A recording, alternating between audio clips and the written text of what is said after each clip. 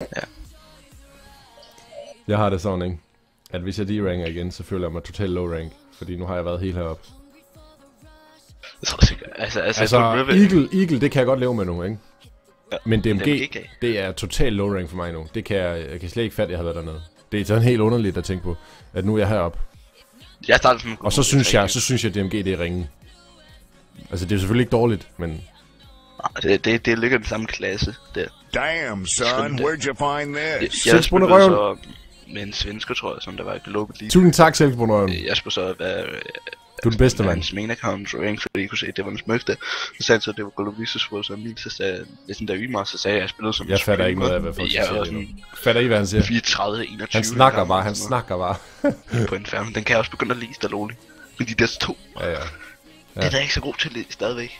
Jeg kan ikke finde ud af den her, det er derfor, Jeg fatter ikke til at øve mig lidt på den. Nej, ikke med den Jeg tror, jeg bare går over.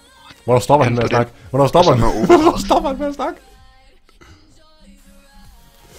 Men tusind tak til... Nu er det nu, det gik. Åh, nu holder du Jeg kæft. kan slet ikke finde ud af, hvad jeg skal gøre. Men AK i, som. T kan jeg ikke finde ud af, Han det ved. de der to.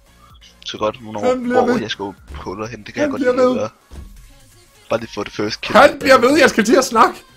Det er kun midten, jeg kan Åh, så stop dog! Eller, eller, eller. Men som T klar, uh, som T kan jeg godt Han bliver ved, mand. Han bliver ved. Jeg fatter ikke noget, hvad han Jeg snakker om kan lige nu.